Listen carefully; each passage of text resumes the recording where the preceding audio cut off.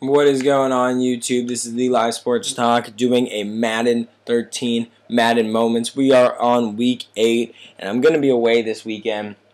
So uh, need to get these Madden Moments done and the Madden Ultimate Team coin up done uh, tonight. Also have a FIFA uh, FIFA video that I need to get out to you guys tonight and uh, might do some Assassin's Creed 3 haven't really played it because my power's been spotty with this damn hurricane.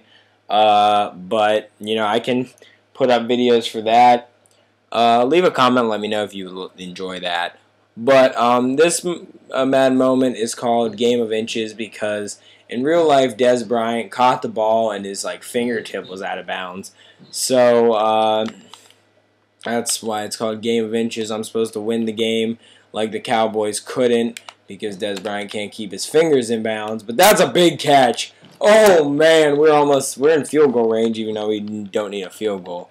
But we're gonna hopefully get up there and spike the ball pretty quickly. That's how you really want to start uh, start this off. Just gonna spike the ball. 25 seconds left, and we still have to go deep because we need a touchdown. Yay us. Let's see what we can do with a little curl route. Break the tackle, Dez. Get out of bounds. Get up. He's now you keep your fingers in bounds. Are you serious? Oh my God, Dez. You're killing me. I want Dez Bryant to score this touchdown.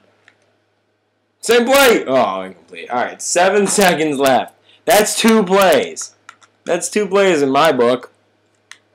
I don't know what book you guys have, but my book that's two plays. And you know, you know I want to go to Dez. Because redemption time. Here we go, touchdown, Dez Bryant. That's how we do it on live sports talk. That's that's just what we do. We win mad moments at the last second with the player that fucked it up in the first place. I don't know why I'm kicking off normally here, but I don't really care because we got it.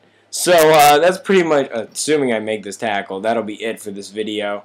Uh, if you enjoyed this video, leave a like. Uh, really appreciate it. It really helps. If you have not subscribed to the channel, please subscribe. Uh, follow me on Twitter at Live Sports Talk. And, you know, leave a comment. Let me know what you guys think about these videos. And uh, if you want to see me do some Assassin's Creed 3.